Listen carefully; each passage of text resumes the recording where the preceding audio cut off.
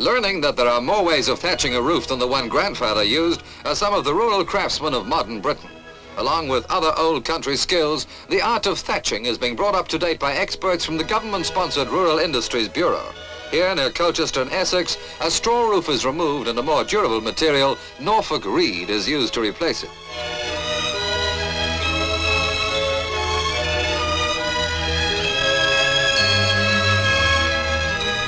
Collected from the Norfolk marshes, the reed is sent ready bundled to every part of the country and in many cases nowadays is replacing the straw thatch used since olden times.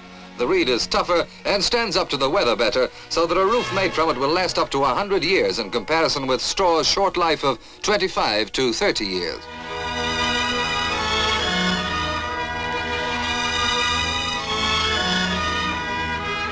Teaching the other master thatchers how to lay the new material is Bureau Officer Fred Cooper, the man in the trilby hat. The bundles are stapled into position with thatching hooks which are hammered through the reed into the rafters of the house.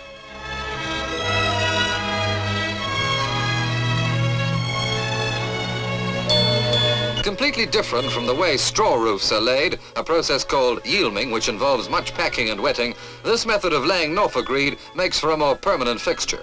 When in position, the bundles are dressed off with a legget, a wooden head spiked with horse nails.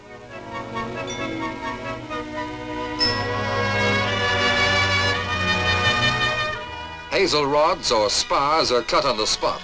Used to keep the ridge capping in place, they are crisscrossed to make a pretty pattern on top of the roof.